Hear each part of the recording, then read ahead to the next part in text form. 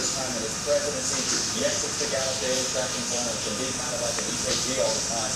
But it's the first time he got dropping below that.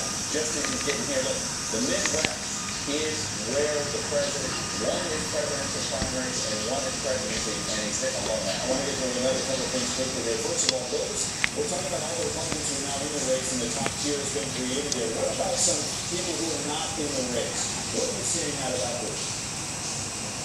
Well, again, as you know, you know, Sarah Palin won't go, you know, she's not saying she's uh, not running. She's still considering herself a potential candidate, and we can tell you that she was acting like one at the state fair and looking very comfortable doing it.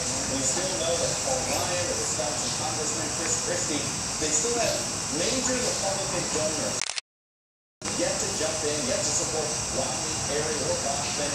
That they're calling them saying, hey, are you guys going to consider? Are you going to rethink jumping in Pawlenty getting out, sort of the other establishment candidate against Romney, those calls have already been increasing, I've been told. But it's going to be, let's see how Rick Perry does, right? If he has staying power, then I don't think you'll hear those calls. Let me go back to President Obama for a moment and this issue of how he's been running against certain members of Congress. I have Congressman know, I asked her about her vote on the debt ceiling. She voted against it, adamantly opposed. This is the exchange we had.